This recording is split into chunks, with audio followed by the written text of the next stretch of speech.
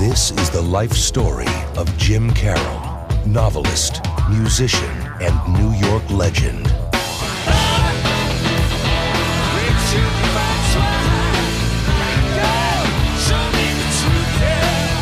Leonardo DiCaprio in the true story of the death of innocence and the birth of an artist. The Basketball Diaries, rated R.